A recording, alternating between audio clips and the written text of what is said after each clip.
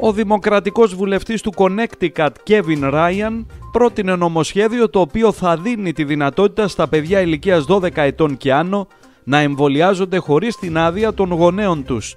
Το μέτρο το οποίο έχει παραπεμφθεί από την Πολιτιακή Βουλή στη Μικτή Επιτροπή Δημόσιας Υγείας προτάθηκε για την νομοθετική σύνοδο της πολιτείας του 2023.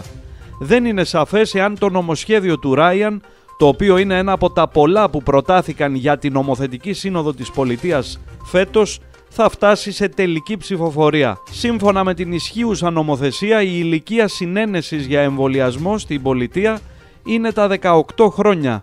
Τα παιδιά κάτω των 18 ετών χρειάζονται αυτή τη στιγμή προφορική ή γραπτή συγκατάθεση από γονέα ή κηδεμόνα για να λάβουν ένα εμβόλιο.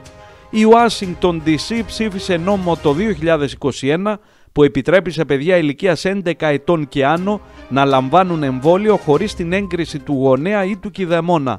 Ωστόσο ένας ομοσπονδιακός δικαστής είχε μπλοκάρει το νόμο το Μάρτιο του 2022 αφού διαπίστωσε ότι παραβιάζει τη θρησκευτική ελευθερία και εμποδίζει την ικανότητα των γονέων να παρακολουθούν τα παιδιά τους για ανεπιθύμητες παρενέργειες. Το αμφιλεγόμενο νομοσχέδιο που προτείνει ο Κέβιν Ράιαν έχει ήδη προκαλέσει μεγάλες αντιδράσεις τόσο στην πολιτεία του Connecticut όσο και εκτός αυτής.